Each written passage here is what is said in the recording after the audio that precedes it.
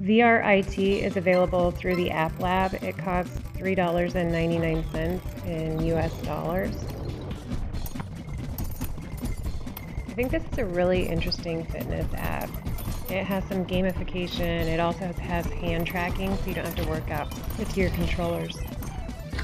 It gives you cues for which exercises to complete, and as you go through, here I'm running. Um, I did feel a little out of breath. I'm not used to running in VR, and then you get little breaks. So during this time, I'm not running, but I am lunging and squatting from side to side, so it gives me a rest break, but I'm still actively resting and shooting. And then you run further, and then the next section will ask you to do different types of exercises. I think day two asked me to do planks and side planks and burpees.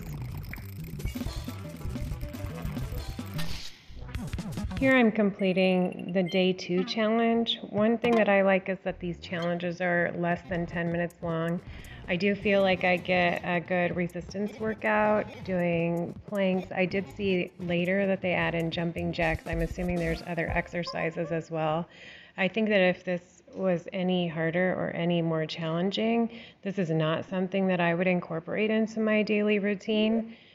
I do think that this was fun for $3.99 and I could see myself incorporating it into my daily routine. These are all activities that I really don't like to do, um, but it was tolerable in this game.